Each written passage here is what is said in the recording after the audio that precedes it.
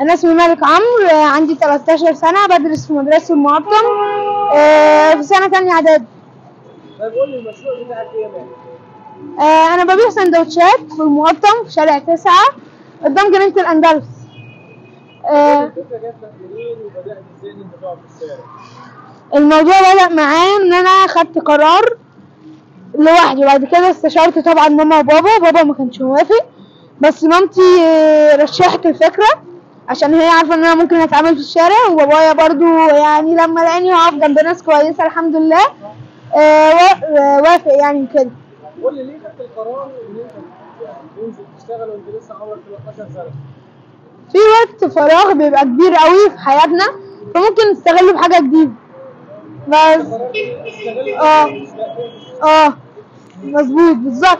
ممكن أعمل حاجة جديدة ممكن مش كل الأطفال عم آه، مش هقول كل الأطفال ممكن بيسني إن أنا ممكن أنزل بال بالمكان في المكان ده بالذات وأنا كمان مش ببقى لابس لبس مش نضيف لا أنا ببقى لازم الواحد طالما بيبيع حاجة فيها أكل لازم يبقى على نظافة عالية في مكان كويس آه، يهتم بنظافة الحاجة بالأكل وكده.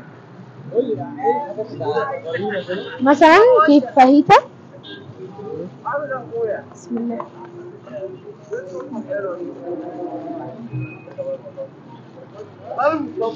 ده سندوتش فاهيتا.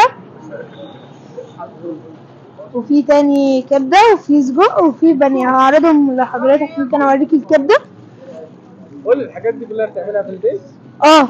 مين اللي بيعملها مامتك؟ لا أنا. أنت. أيوه. طب قول لي قول لي يعني أنت شاطر ما شاء الله في الأكل؟ أوي. أنا بحب أعمل اكل كتير. مثلا دين بحب أعمل الكبدة دين بيبقى بطريقتها الأصلية. يعني أنا عارف طريقة الكبدة أصلا عارف كل وصفات الأكل من مامتي. مامتي كانت آه. الساعة؟ أنا ببدأ يومي الساعة عشرة. 10 الصبح آه. إزاي بقى؟ بتعمل إيه؟ بداية اليوم. ماشي بداية يومي خالص. ده بقى بيبقى البانيه. هو دون. ببدأ يومي مثلا الساعة عشرة. لازم أنضف السرير اللي أنا كنت نايم عليه. بصحى أقرأ قرآن أصلي الصبح. وبعد كده بقى أبتدي أمسك التليفون بتاعي أتفرج على التلفزيون بفطر آه، أقعد ألعب شوية مع أختي. وبعد كده ممكن أنزل البيت الحاجة بتاعة الشغل بتاع بتاعتي أنا. وأرجع تكون الساعة جت تلاتة أستريح لحد الساعة أربعة أربعة ونص نبتدي نعمل الأكل. وأبدأ أنزل من الساعة ستة. بقف من الساعة ستة وربع للساعة عشرة ونص حداشر. بالليل. آه؟ لا عشان اقف جنب ناس يعني بيساعدوني في كل حاجة مش مخليني محتاج حاجة بشكل كبير جدا. فأنا ده حاجة مريحاني ومساعداني كتير. طب أنا عارف ان انت بتسيب كل حاجة الصلاه آه. ربنا كرم كرمني كرمني وساعدني إن أنا أبقى حاجة حلوة. والناس تيجي تصور معايا وفرحني وأنا ما ينفعش أثر في عبادته ما ينفعش آه، ما أشكروش.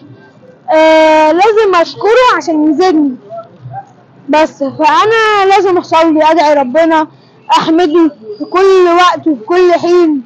الحمد لله. شكرا. ده من ذوق حضرتك. شكرا.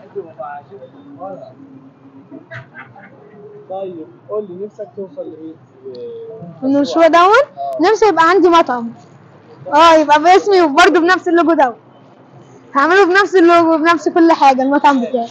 آه. طب قول لي الناس بتقول لك إيه في الشارع؟ آه، بيبقوا فرحانين مني إن أنا مثلا في ناس بتبقى عارفاني فبتبقى إيه ده؟ أنت مالك؟ أنا عارفك وبيبقوا عارفيني عن معرفة يعني بيا أنا شخصيا. وفي بقى الناس الغريبة بيبقوا مستغربين ممكن ناس تبقى لا في ناس بقى مش بتبقى عارفة إيه اللي هنا مش بيبقى عارفين إيه اللي جوه ده مش بيبقى عارفين اللي جوه ده اكل آه ممكن ما يبقاش عارفين أصلا إن أنا ببيع حاجة. فلازم آه يبقى عندي الجرأة شوية إن أنا أقول للناس أتكلم مع الناس أعرض الحاجة بتاعتي على ال- الأشخاص اللي في الشارع. آه. لا. الحساب ممكن بشكل مش كبير قوي.